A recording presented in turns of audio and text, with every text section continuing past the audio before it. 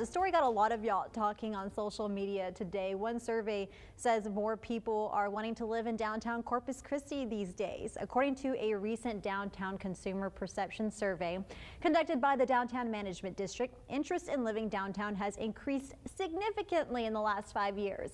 45% of the people that visit the area and 56% of millennials are likely to consider living downtown. Those numbers are up from 7 and 15% respectively back in 2015.